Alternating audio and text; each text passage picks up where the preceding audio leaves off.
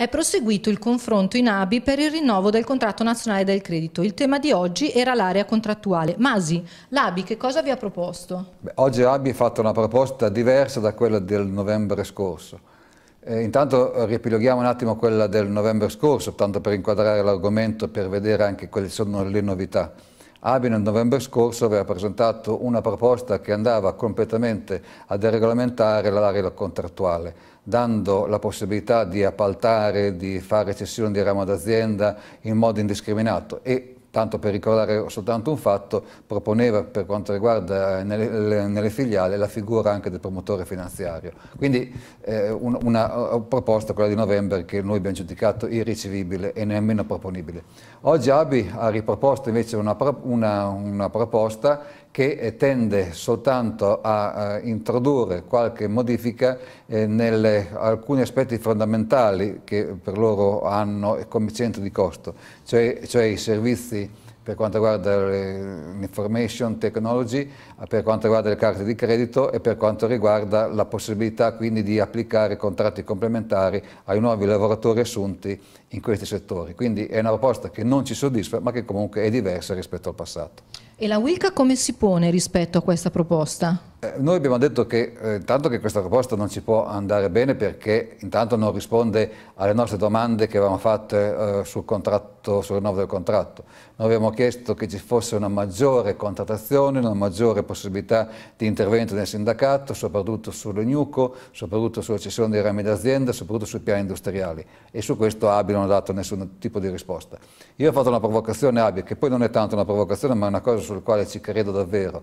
E noi dobbiamo, l'unico modo per tenere un raccordo fermo, stretto, reale, fra area, area contrattuale e occupazione è quella del, del, del, dell'insourcing, cioè quello di riportare lavorazioni, all'interno dell'area contrattuale, all'interno del contratto di bancari che eh, negli anni scorsi sono usciti, sono stati, affidati a lavoratrici, lavoratori con altri contratti e che oggi credo che la vera sfida sia quella di riportare dentro il nostro settore queste lavorazioni. Abiso, anche su questo Abi non ha dato risposte, quindi credo che il nostro giudizio può essere solamente negativo proprio perché manca la vera, vero aspetto, il vero sentiment di questo contratto, ancora una volta si privilegia il risparmio eh, su, eh, sui costi che piuttosto che dare un'opportunità al, al lavoratore o lavoratrice di poter crescere. Nel tuo intervento poi hai anche ricordato che il 7 marzo scorso è eh, di fatto applicabile il decreto legislativo sulla conciliazione dei tempi di vita e lavoro e hai sollecitato Abi a trattare anche di questi importanti temi contenuti nell'area contrattuale. È vero, nel, due riunioni fa, quando avevo introdotto in nome di tutte le organizzazioni sindacali il, il problema del, delle azioni positive, delle azioni sociali da mettere nel contratto, avevamo parlato anche che questo, questo aspetto delle conciliazioni del tempo di vita e congedi parentali erano aspetti che in quel momento non trattavamo perché aspettavamo il Jobs Act ma che dovevano essere inseriti.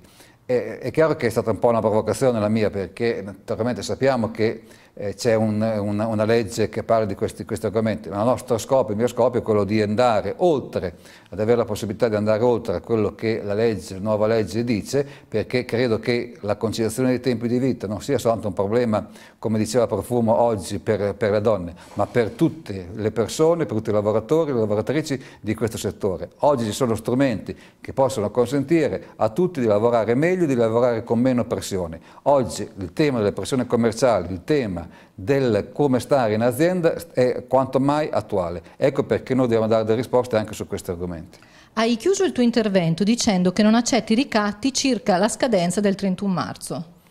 Eh, è vero, mm, io non accetto di fare, l'ho detto già più volte, e credo che eh, i nostri ascoltatori che eh, seguono queste, queste interviste l'hanno già sentito più volte. Io non accetto di fare eh, trattative con, eh, con, il pendolo che, che, che, che batte, che rintuona i secondi. una trattativa eh, per un rinnovo del contratto è una cosa seria che deve essere ponderata perché qui trattiamo non soltanto il futuro di 309.000 lavoratori bancari, ma anche la possibilità del futuro di altri lavoratori che aspettano con ansia che ci sia una svolta nel nostro contratto nazionale. Allora qui noi non possiamo eh, fare una trattativa a scadenza, ma dobbiamo fare una trattativa seria e approfondita. Quindi eh, Abi ha disdetato l'incontro del 13 di, eh, di, marzo, bene, ha fatto altre proposte che eh, attorno all'ultima settimana eh, di marzo, credo che in quelle riunioni si vedrà davvero se c'è la volontà di fare un contratto e di farlo seriamente. Ma anche se occorressero dieci giorni in più, credo che non ci dovrebbero essere problemi, almeno questo è il nostro spirito, perché noi vogliamo fare un contratto ma che sia una cosa seria e non soltanto una cosa raffazzonata per dire che abbiamo fatto qualcosa. Allora ci rivediamo ai termini dei prossimi incontri che vi ricordo sono già fissati per il 23, 24, 25 marzo e 30 e 31 marzo.